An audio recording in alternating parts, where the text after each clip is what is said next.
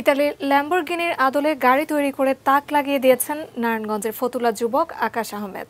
দেশীয় প্রযুক্তি ব্যবহার করে ইতালির বিখ্যাত ল্যাম্বরগিনি ব্র্যান্ডের আদলে গাড়ি বানিয়ে সারা ফেলেছেন নারায়ণগঞ্জের অটোরিকশা মেকানিক আকাশ আহমেদ। বিশ্বনন্দিত বিলাসবহুল ব্র্যান্ডের স্পোর্টস কার ল্যাম্বরগিনির আদলে গাড়ি তৈরি করে বিস্ময় সৃষ্টি করেছেন নারায়ণগঞ্জের motor mechanic Akash Ahmed. Autorickshaw ওয়ার্কশপে দেশীয় প্রযুক্তিতে গাড়িটি তৈরি করেন আকাশ। হ্যালো বিয়ার্স বাউল টিভি এন্টারটেইনে আপনাদের স্বাগতম। আমরা আসছি আপনারা জানেন যে একটি গাড়ি নিয়ে আমরা এর আগে একটা নিউজ করেছি আমাদের এই চ্যানেল বাউল টিভি এন্টারটেইনে আপনারা দেখতে পারেন সেই নিউজটি সেই নিউজটি করার পরে এবং অন্য অন্য টিভি চ্যানেল সবাই এই নিউজ অনেক নিউজ করেছে গাড়িটি নিয়ে। সে কিছুক্ষণ আগে বিটিভিও নিউজ করেছে এবং ব্যাপক একটা সারা পড়েছে এবং এই গাড়িটা নিয়ে আর মানে ভাইরাল হয়েছে ভিডিওগুলি ইউটিউবে ফেসবুকে এবং নানান রকম টিভিতে টিভিতেও টিভি চ্যানেলে।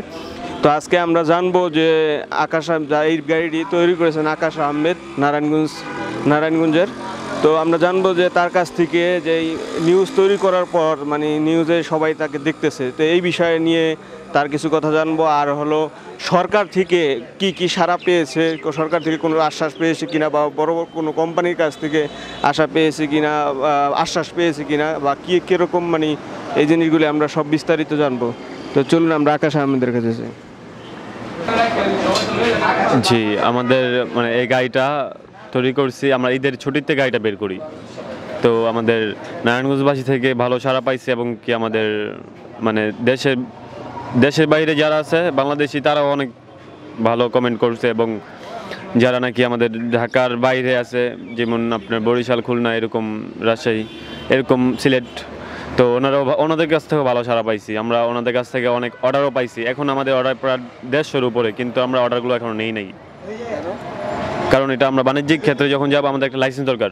কারণ লাইসেন্স ছাড়া আমরা বাণিজ্যিক ক্ষেত্রে যেতে পারব না। তো পুরনো হলে বা কোনো কর্মকর্তা বা সরকারি কোনো কর্মকর্তা কোনো এরকম আশ্বাস পাইছেন যে তারা লাইসেন্স দিবে বা কি কোনো কিছু করতে বলছে? এটা আমরা মানে এখনও অ্যাপ্লাই করি নাই।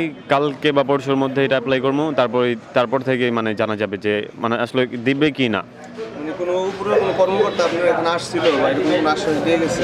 না এর যেরকম আমাদের নারায়ণগঞ্জের ডিসি সাহেব মানে উনি বলছে যে মানে যতটুকু হেল্প উনি করবে মানে আমাদের লাইসেন্সটার জন্য। আর আমরাও মানে একশো পার্সেন্ট আশাবাদী যে আমরা লাইসেন্সটা পাবো। বড় কোনো কোম্পানি আপনার মানে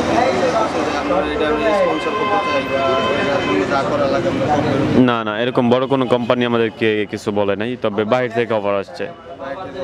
যেরকম আপনার কানাডা ইউএসএ আর হচ্ছে অস্ট্রেলিয়া। জবের জবের অফার আসছে।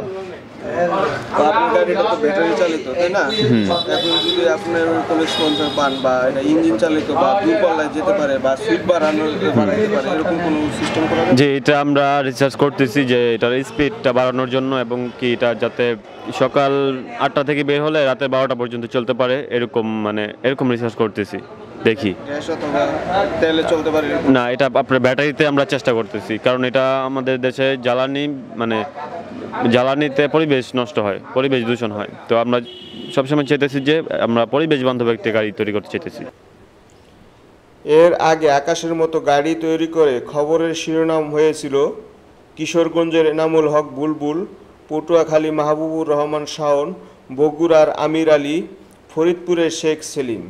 সহ অনেকে, কিন্তু তারাও সরকারের সহযোগিতা চেয়েছিল, পায়নি, হারিয়ে গেছে তারা এখন তাদের কোনো খবর নেই। তাদের মতো আকাশ আহমেদকে হারিয়ে যাবে কিছুদিন পর? নাকি সরকারের সহযোগিতা পাবে? নাকি সরকারের কোনো সহযোগিতা না পেয়ে চলে যাবে কানাডা অস্ট্রেলিয়ার মতো উন্নত দেশে, যারা তার প্রতিভা মূল্য দিতে পারবে? যারা এই ভিডিওটি দেখলেন তাদের বলছি, আপনার কি মনে হয়? কমেন্ট করে জানান আর শেয়ার করে জানিয়ে দিন বিশ্বকে। এই ভিডিওটি শেষ পর্যন্ত দেখার জন্য ধন্যবাদ। Jamal Hossain Sagar, Baul TV entertain, Narayanganj.